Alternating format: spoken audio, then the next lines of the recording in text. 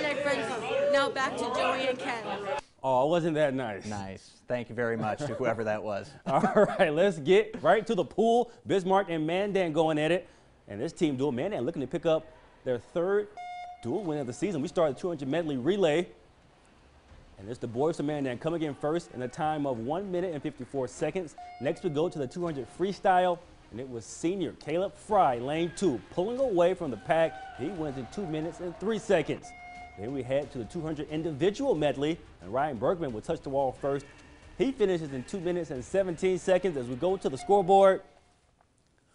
We're we don't have a score from that, that. game. Friday. This this is a frenzy for sure. yes, So. this is pretty hectic. All right, let's go to gymnastics. All right, let's go to gymnastics, where Mandan was also at home hosting the Mandan Invite over at Starion Sports Complex.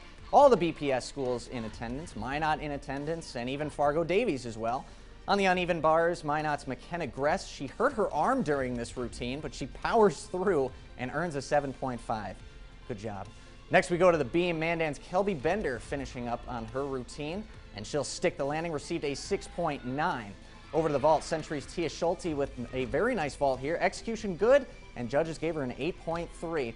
No score again from there. We'll try and get you to that on the uh, the digital website kxnet.com. Yeah, we just had a lot of action today. Um, but back in the capital city, the Bobcats were in town. There we go. All right, they faced the Aberdeen Wings.